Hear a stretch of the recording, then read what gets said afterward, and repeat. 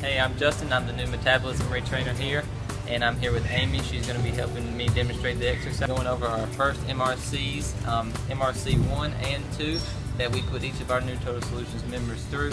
Um, and these are exercises that you can do in the gym, and we'd love to have you in the gym, or if you have to go outside of the gym, we want to make these available to you inside and out. So if there was a case you couldn't make it to the gym, we want you to be able to do your exercises too, because movement is just as important as the food part. Okay, so the first exercise we're going to do in our MRC1 is the high step. And the high step is basically just a march. So we want to pick our legs up and act like we're marching in place, as we can see Amy doing. This is pretty simple. So another way, if this is kind of basic for you, is we can kind of speed it up a little bit. So we can, that might be a little um, So more challenging. bad, then I can just keep doing. That's right. Right. Okay, so the next exercise in the MRC one is going to be the side step. We want, we want to stand shoulder, uh, feet shoulder length apart, and we want to just step to the side, bring our feet together, and step back to the other side. We're going to do this for about 15 seconds. Is this really gonna get my heart rate up? Well, if you want your heart rate up, and if it seems basic for you, uh, we can go faster. Jump,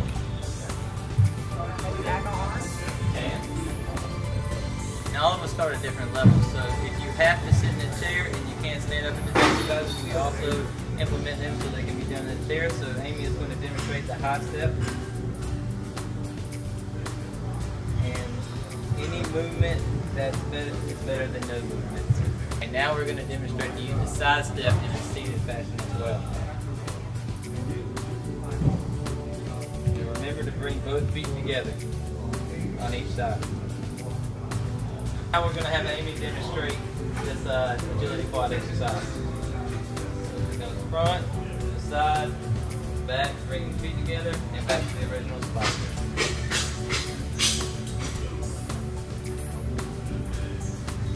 So is it okay if I add some arms? You can you can actually do that, and you can lunge. You want to lunge to the side. This will hit your quads really well too. That looks great. Okay. So the next exercise is the jump rope, and I know everybody's heard of a jump rope before, and usually the motion like this, we want if we have an exercise to do, you don't have to have a jump rope. So I'll have Amy demonstrate that right quick. And this is a modified version of the jump rope, as well as the normal version. Free to do either one or vary it up as she's doing here. We just want to get you moving in any way you feel fit to do it. That is fine with me. Next exercise is the half jack. I'm sure everybody's familiar with the jumping jack, but if not, we want to bring our feet together and we want to come out to the side while raising our arms. And we want to come back to center and then we're going to head the opposite direction. So out and back in. Amy's keeping her back straight, fits the knee that's coming out. And this is the way we want you to do it. Or you can do regular jump. Now we're going to do the agility square. So we want to envision that we're standing inside of a square and we're going to hit all four sides of the square with our feet. So first we're going to step to the right and hit the right side, come back to center, hit the left, come back to center, hit the front, come back to center, and then hit the back and come back to center. And I like to keep it side to side and front to back in that order because it's easier for everyone to remember. If you need a, a little extra challenge, you don't have to lunge, but if you want some more challenge, we can lunge kind of like Amy's doing now. Feel free to move at your own pace. We're not rushing. We're going to start with the MRC2, and this is more of a resistance-based exercise. So we want Amy to stand with our feet about shoulder length apart. We want her to place her hands on the wall, a little down. And this is going to be a wall push-up. We want Amy to come in toward the wall, and then push back out. And this is going to be a push-up, but it's going to be less strain on your body and on your shoulders than a regular push-up would be. Our next exercise in the MRC2 is a calf raise, and it's basically a standing up on your toes. So we want you to stand up and hold for one second, and then come back down. You're be up again, hold, and come back down. Now if you have balance problems, feel free to hold on to something like Amy's doing here. If you need more stretch on the calf raise, you can find something that gives you a little more elevation. Remember to still hold and then come back down. So now we're going to do the pull down. So we want to reach our arms up as high as we can and we want to grab. Uh, you can also use free weights or a bottle or can in this exercise as well. So what we want to do is we want to bring our arms down to a 45 degree angle, stop, and then repeat. Down. Be aware that she's making a 45 degree angle with her and we're coming back up. Now we're going to do leg extensions. I'm going to have Amy demonstrate the leg extension. We want to be sure to find something to hold on to to kind of gain our balance. And then we want to raise it, the knee up 90 degrees and extend.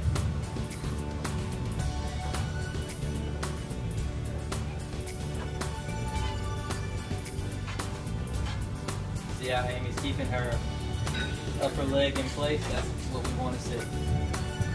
This exercise is called the tricep extension.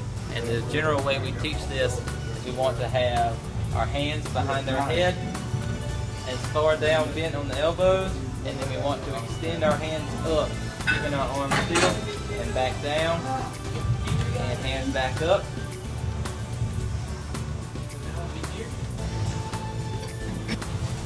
So it, uh, the other way we want to do, we want to bend at the waist forward we want to keep our upper arm steady and just move our forearm back. You should feel this really good in your triceps, the back of your arms. Our next exercise is the arm curl, and I'll have Amy demonstrate as I describe. So what we want Amy to do is bring her arms in as close to her body as she can, keeping her arms fully extended. Then we want her to bend at the elbow, bring her hands to her shoulders. Okay, this exercise can use free weights as well as water bottle or a can of something you have around the house. Our last exercise on the MRC2 is the sit-up or as we like to call the ab crunch. Starting at the beginner level, we teach our crunches in a chair and we'll have Amy sitting down the bench right now. We'll have her come forward and tighten her midsection and then come back up. We want to do this generally 10 times and then take a break. So what I normally teach the people in, in our MRC classes is that they can do this ab crunch when they wake up in the morning. So you only have to come up a little bit as I'm going to have Amy describe, and this is just as effective as a sit-up. So we want you to do 10 of these, and uh, as I said, you can do them as soon as you get up in the morning. They're already over If you like the things that Justin's shown you today, please stop in and see one of our staff members so you can learn more information here in Total Solution.